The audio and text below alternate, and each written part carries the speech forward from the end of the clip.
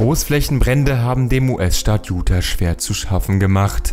In einigen Schulen wurde daraufhin ein wirklich interessantes Experiment gestartet. Schülern wurde danach die Aufgabe gestellt, eine möglichst effektive Lösung für die andauernden Brände zu finden. Neben vielen absurden Ideen hatte Graven einen Einfall, der seiner Stadt wirklich weiterhelfen könnte. Er erkannte, dass sich Trockeneis perfekt dazu eignet, Feuer und sogar großflächige Brände zu bekämpfen. Auch wenn er damit nichts Bahnbrechendes entdeckte, implementierte er eine neue Art Trockeneis zu benutzen. Er zerkleinerte das Eis, bis es eine Pulverform angenommen hatte, mit der man das Feuer in Zukunft bekämpfen kann.